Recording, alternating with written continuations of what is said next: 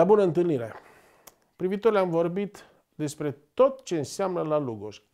Tot în ghilimele, că vă dați seama că am mai uitat una alta. Și te invit astăzi să vorbim despre Someș. Deci Timiș Someș. Se aduce aminte de povestea de săptămâna trecută? E Sorin Bagiu. La bună reîntâlnire cu poveștile. Bine v-am întâlnit. Sorin, am rămas în zona de vest a țării și te aduc acum spre centru. Ai semnat Universitatea Cluj în urmă, nu spun cu câți ani, că sunt mulți și am și uitat. 75. 75. Hm, aveam ceva nișori. Aveam ceva nișori. Tânăr student, la drept. Da. I-a dus Nearemus Câmpian. Ai lăsat Politehnica Timișoara pentru Universitatea Cluj. Ai intrat în carantină. Astăzi este povestea în alb și negru. Îți pasez așa de la portar, degajez mingea spre fundaș și mergem în atac. Contactul cu Universitatea Cluj, direct, și emoțional și sportiv. Contactul a fost un șoc, pentru că venind de la o echipă mică, cum se spune, la nivelul Universității Cluj și întâlnind în vestiar legende, Dana Anca, Pexa, Solomon, mă rog, Crețu, e, a fost uh, un impact uh, foarte mare. Țin minte, Nearemus Câmpian, cel care te-a dus la Universitatea Cluj, spunea, era o catedră. Da, era o încărcătură formidabilă pentru că... Dar ciudat, nu era o presiune a rezultatelor, să vrem titlu. Adică să vrem, clar, acum am dat de gol, sunt suporterul universității. Da. Deci, nu era o presiune a titlului neapărat, pentru că era Steaua și Dinamo, era clar. Unde era încărcătura asta? Unde era emoția asta? Am prins un, un moment prost, pentru că, dacă țineți minte, 75-76, echipa retrogradat. Și eu am fost acolo la toate antrenamentele, la pregătire, na, dar nu puteam să joc. Era antrenor Paul Popescu. A fost un alt tip de antrenor venit din București cu altă... Și atunci, retrogradând, a fost o atmosferă așa foarte apăsătoare. A venit un antrenor nou, vorbesc de doctorul Constantin Rădulescu de la CFR, cu o altă viziune, mă rog, a, a început să, să facă multe încercări. Alți jucători, de la juniori aduși, de la Turda, Câmpia Turzi, mă rog, a fost un, un an de tranziție și atâta încercând nici nu mergea. Deci am terminat undeva, cred că pe penultimele locuri în divizia B, vorbesc. Deci a fost uh, un an de tranziție greu, greu de tot, pentru că și lumea, fiind obișnuită, nu, nu, nu prea... Deci a fost un an foarte greu. S-a terminat 76, uh, a venit o schimbare de antrenor firesc, uh, nu merge și când nu merge a schimbat antrenorul, a venit Petre Moldoveanu, Neapeniță Moldoveanu, așa, și antrenor secund a fost Valin Edel, cu fost jucător la U încet, încet uh, erau agreați de jucători. Doctorul n-a fost chiar așa agreat pentru că avea un stil mai aparte. Așa de... S-au pierdut și mulți jucători, pe s-a plecat definitiv în Germania, au fost transferuri, mă rog. Însă, să revin la întrebare, practic, ce, ce însemna U? Presiunea de unde era? Era din faptul că te cunoștea toată lumea pe stradă. Deci atâta lume era la, la meciuri. Oriunde mergeai, erai cunoscut. Oriunde mergeai, în afară de la facultate, unde nu conta, pentru că profesorul aveau așa, zice, bă, ăsta e fotbalist, ce caută aici? la, la drept, ce caută? La dreptul roman, profesorul Hanga să m-a întrebat, zice, aveți joc de cap bun, domnul Bagiu, domnul student. Zic, nu grozav așa, dar aveți grijă că aici e, se joacă cu capul mult. Da. da. Deci erau lovituri așa academice. Da, da. Pe mine m-a impresionat. Deci corpul profesoral de la Facultatea de Drept din Cluj a fost cea fantastic. Deci o, numai somități, profesorul Deleanu, uh, profesorul Gliga, Matei Basarab, nu mai spun, Firoiu, nu erau cei mai simpatizați, dar erau așa, se învăța, să făcea carte multă. La fotbal însă trebuia să fie acolo tot timpul și s-au tot făcut schimbări. Era în căutare de... Până când în 79 ai reușit promovarea, care a fost o descătușare așa fantastică.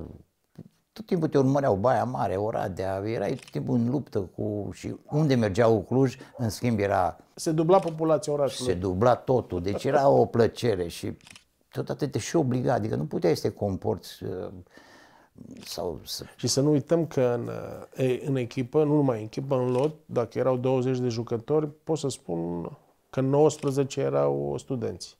Da, bine, erau studenți. Studenți sau absolvenți. Studenți sau, sau absolvenți. Sau uh, absolvenți. Era și o, o chestiune formidabilă. Se întârzea indemnizația de efort, mă rog, era 800 de lei și venea conducerea. Dom'le, ce tot vreți 800 uh, de lei? Lasă că vedeți voi motiv, cum vă mai dă motivări pentru absențe. Dar absențele făceai că aveai două antrenamente, nu mergeai la școală. Bine, mai făceai și altele. Deci te amenința cu școala. Țin minte, aveam Ion Ciocan... Asta, e, asta chiar de poveste. Erai Ion... amenințat cu școala... Bine, nu am amenințat. Nu, la modul... Că astăzi nu mai există chestia asta. De da, sub forma și, asta spun. De... Și uh, aveam pe Ion Ciocan care venise de la CFR atunci și stătea lângă mine în vestiar și era nedumerit, cum adică nu mai dați motivări. Eu nu student, zice. deci am spus că 19 din 20. Da, zice, eu sunt tehnician. Ce vă amenințați pe mine? Dați-ne de mine. Da, erau hazli momentele așa. Da, și promovarea, sigur că da, a fost uh, un moment extraordinar. Stadionul arhiplin tot timpul și presiunea de acolo venea, de la public. Plus, presiunea de la public? Da, de la public venea presiunea pentru că toți erau lângă tine. Deci când intrai și începeau să cânte Gaudeamus și slavă ție studenții, era... Uitai, când începea meciul, uitai. Și să spunem că într-un singur meci, la Universitatea Cluj, era public cam cât e într-un tur de campionat acum. Da, acum, sigur, nu mai e valabil nimic din ce a fost, uh, pentru că, deci, țin minte, am și uh, poze. Mergeam în fabrică, de exemplu. Mergeam la, la Unirea, era director domnul Giurgea, un tip de clasă mare. Te strângeai cu oamenii din fabrică, veneau uh, lângă tine, uh, să premiau, deci îți dădea premii, câte un plic sau ăsta. Deci a avut grijă să mergi și în oamenilor, formidabil. La facultate, sigur, nu era bine văzut, bă, ăștia fotbaliști, capul pe sus, figuri în cap. Nu aveam nicio figură în cap, deci eram Vai de noi, nu. Ai avut restanțe? Am avut, da. Ce și la Matei Basarab. Pe la Matei Basarab? da, la penal. A fost o prostie pe scurt. Am trecut de el în toamnă, așa, și vine, anul 3 vine penal special care era cu Oliver Stoica, un mare om. Noi am plecat, s-a terminat campionatul, am plecat la mare. Zic, mă duc în toamnă la examen. Săracul a decedat, domnul Stoica, profesorul. Cine crezi că a venit? Matei Basarab. Da. da. Ce antrenor te-a marcat? De la fiecare ai prins câte ceva. Începând, vorbesc de la primii antrenori adevărați, Sârlea și cu Mesca, am venit și am învățat pe Niță Moldoveanu, dar Angelo Niculescu și cu Tite Ardeleanu, poate mai mult Tite Ardeleanu pentru că Angelo deja avea o vârstă și nu mai era, deci după ce ai fost în Mexic și eh, nu poți să-l înveți pe Bagiu la Ucluj ce să facă. Deci el credea că toată lumea e la nivel de academicieni și el doar dădea trasa asta, nu să implica în antrenament. Bă, vezi că centrezi de 5 ori, de două ori în spatele porții, că și spunea când centra un coleg de-a meu, centra rău și spunea Angelo, alo, luați legătura cu Taromul să oprească cursele acum, că vine la centrare. da, însă ca și tactician și este jos pălăria. Mi-a plăcut Remus Vlad, a venit uh, super după, el venise după experiență cu Lucescu și au început un, o a doua treaptă de modernizare a fotbalului, deci puțin mult mai tacticizat, aș spune eu. Și a fost o perioadă și plus că venea valul ăsta tânăr, pentru că centrul de copii juniori producea permanent și după a apărut un Sabău, a apărut un Pojar, a apărut, bine, înainte a fost Suciu Poflorin, care au venit tot de la juniori. mulți uh, jucători care vreau să impună și erau și bine pregătiți. Vorbesc pentru a face acest salt, că e un salt, era avantajul mare cu echipe de tineret și jucau la tineret uh, tot timpul în deschidere. Era obligatoriu, terenul de zgură, puțin își mai aduc aminte, cel de lângă. Da, da, da, deci uh, a fost... Fosta potcoavă. Da. Hai să mergem puțin pe teren și spunem ce adversară uh, îți displăcea, adică te enerva, te scotea așa un pic din, din linia. Deci eu am, deci am prins toate extremele adevărate din fotbalul românesc de pe vremea aceea. De la Zoli Crișan, Marius Lăcătuș, Marcel Răducanu. Singurul om care... Să te fi scos din pepeni. Vă spun imediat, dar singurul om care am jucat cu Fece Argeș și nu-l atacam niciodată pentru că să nu te facă de râs a fost Dobrin. Deci, Hai, te înțeleg. decât să mă facă de râs, nu-l atacam. Pe restul, de exemplu, la Lăcătuș, dacă nu erai lângă el și îl lăsai să întoarcă, erai gata, erai zob. Deci și ăsta și Crișan. N-aveam viteza lor eu și atunci trebuia să te plasezi în așa fel când primeam mingea încât dacă îl atași să nu se pot întoarce. Pentru că fundașii laterale au, au o caracteristică, joacă în criză de spațiu și timp. Pentru că spațiul e limitat, ai linia de tușă, la mijlocaș poți să te întorci unde vrei, 5 metri, aici n-ai unde că e, ești pe zgură, te faci de râs, așa. Și trebuia să ai o poziționare, mă uit acum la, la televizor, la niște fundași, nu știu să stea în teren ca fundaș. El zice că e polivalent, nu, e așa. Da. Lăcătuș, foarte rău, foarte, foarte rău. Și, uh, dar rău în sensul de joc. Punea tălpi. De obicei pe atacanți îi plezneam eu păi circula la fotbal vorba aia, decât să plângă mama mai bine plânge, mă, să eu am înțeles-o și mama mă gândeam la ea. Oricum era celebru cuplu de fundaș de la Jiu Tonca cu Stoker. Stoker. Deci acolo era... Erau de pe tunel. Deci... Asta Ajungeai pe teren și în tunel, sub tunel, când mergeai să ieși, ploua. Deci așa era făcut uh, toată treaba, de întuneric și ploaie. Cine ieșea, nu știi cum. Cine te-a lovit, uh, n-ai, n-ai cum. De, erau tare de tot. Deci la Petroșani era, acolo nu aveai nicio șansă. Era Libardi, era... Și Stoichiță a fost în treaba aia cu Mulțescu. Deci ei nu puneau numai pe tendoane din spate. Asta erau vremurile. La mine se plătea bine. La mine se plătea, da, asta, asta. Aici, la Cluj, dacă veneai, făceai școală. A, făceai foame. Deci nu? adversarul mai uh, antipatic da, în sens pozitiv. Nu rămâne Marius Lăcătuș sau? Da, Lăcătuș, pentru că dădea cu coate, cu uh, orice și simula mult. Și, și cu cine ți era drag să te întâlnești? Tu în postură de fundaj, el în postură de extremă. De exemplu, când jucam cu Târgu Mureșu, era Fozecaș, de exemplu, un jucător tehnic, te lovea sau își cerea scuze și deci era altă mă rog, cu Bellini, Hainal, cu după aia mai juca și Hainal pe partea, venea pe dreapta ca să intre în centru să dea cu stângul la poartă, da, dădea senzațional, un jucător grozav. Da, deci am rămas în relații foarte bune cu ei.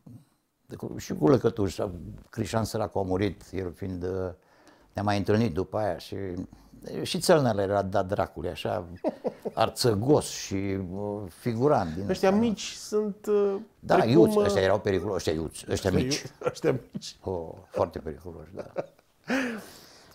Vreau să te duc din nou în zona de unde ai venit tu, în vestul țării, erai pe teren, la un mers de promovare, Universitatea Cluj, cu taban Politehnica Timișoara.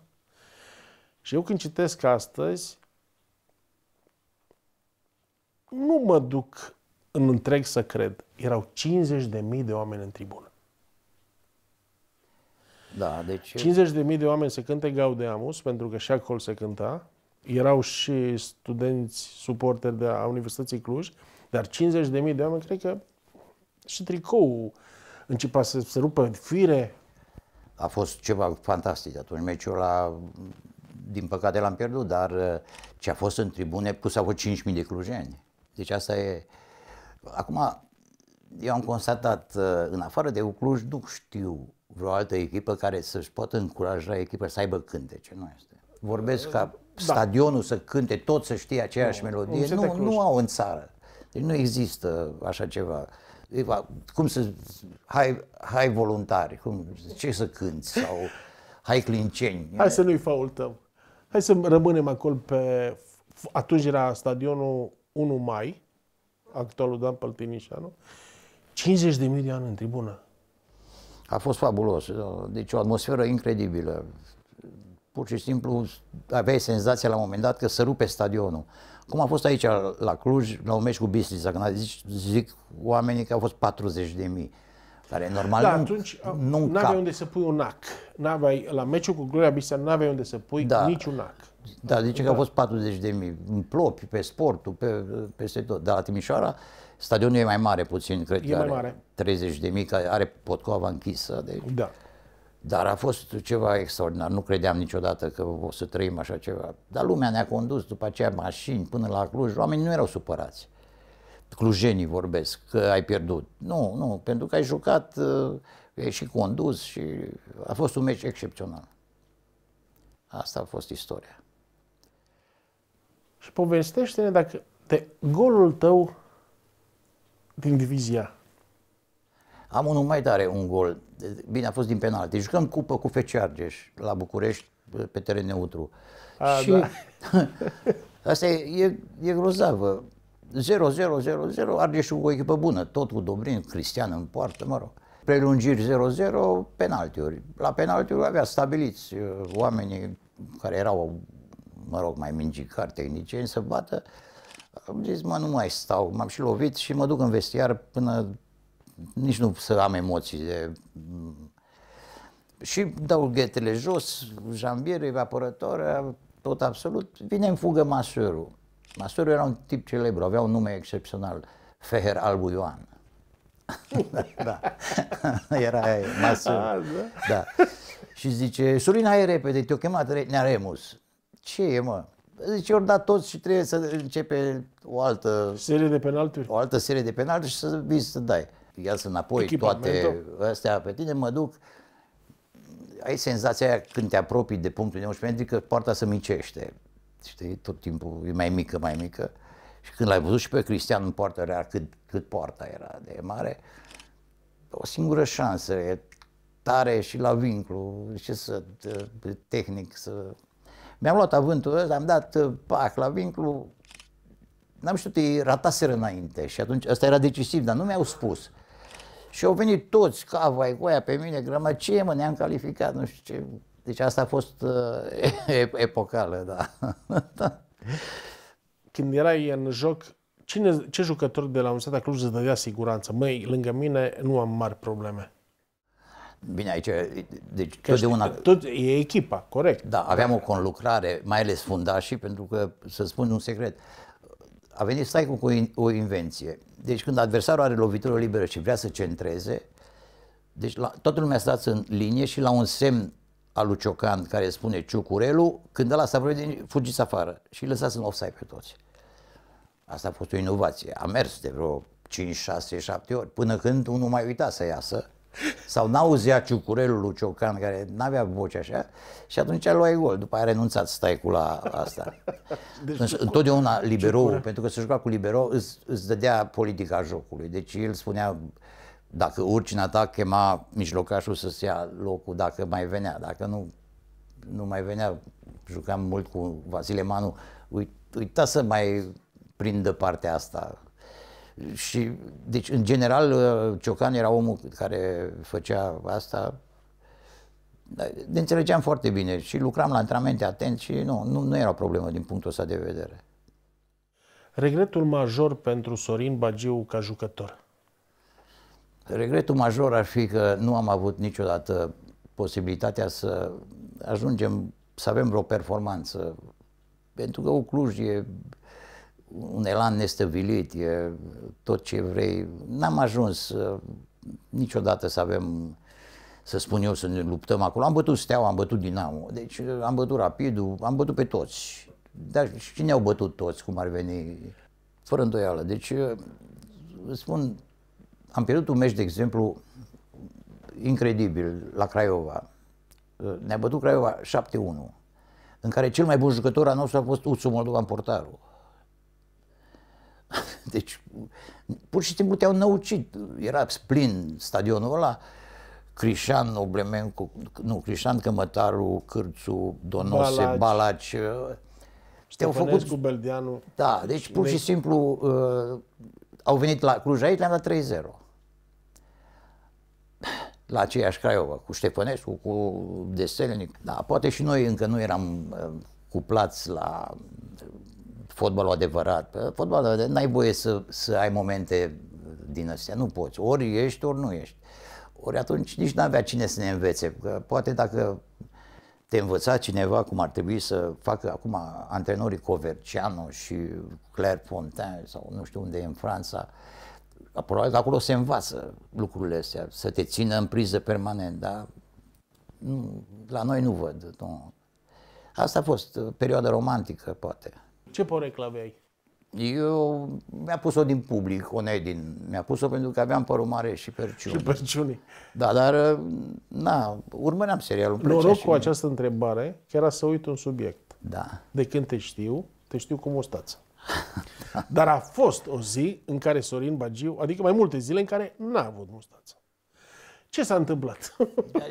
Ce s-a întâmplat? Am pus un pariu la meciul România-Ungaria din 81, cred, un pariu că dacă nu-i batem pe, pe unguri, îmi, dai, îmi dau jos mustața. Și nu i-am bătut. Și atunci, respectând pariu, am dat-o jos. Asta a fost. Dar n-a stat mult, vreo două săptămâni, cred că. Până, până a crescut. Da, da, pariuri, da, fizice.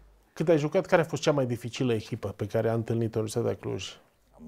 Multe au fost dificile. Prin Deai, de exemplu, erau unele localități în care eu am prins și divizia B, aia urâtă, cu Cavnic, Baia Sprie. Wow, Aurobrad. Uh, Lupeni. Deci am prins și zona aia, și Anina, unde Anina credeai că s-a terminat pământul, deci era așa o pădure, după aia coborai și de acolo era hău, nu mai era nimic. Da. Deci astea au fost uh, cele urâte. Meciurile ca meciurile adevărate și astea era pe, pe Ghencea când mergeai știe că deci Impecabil covorul. Impecabil și trebuie să crească concentrarea, că nu, nu, nu se poate altfel. În întreaga ta carieră ai avut parte de cartonașe roșii? Nu, unul, ba da, unul singur un? la Bistița. Nu și un arbitru fără cusur? Deci mi-au plăcut doi. Rainea, de exemplu, care la așa nivel a ajuns în zilele lui bune, către final așa, arbitra de la centru. deci din, Asta din cerc. Din cerc. Deci nu mai trebuia să deplaseze cum... Uh, nu. Deci de acolo și ți impunea un respect că nu comentai. Uh, senzațional. Mi-a plăcut Otto Anderco foarte mult, uh, cunoștea jocul. Da. Deci la nivel restul, bine, arbitrajul atunci încă nu era chiar așa... În prim plan. În prim plan. Și ne apropiem de final și ultima întrebare este o zi din viața lui Sorin Bagiu fără fotbal. Am uh, un fanion, am fost la Năsăuț, se organizează în fiecare an un uh, patru later, așa, CFR-ul, Bistrița, noi și Năsăudu. Și e un domn acolo care se ocupă de toate astea și ne-a dat câte un fanion și o medalie și scrie pe el se poate și fără fotbal, dar ce rost are? Fer sfârșitul jocului. Mă bucur că mi-ai dat șansa să te cunosc și altcumva. Iar ție, privitorule, nu uita, fă sport.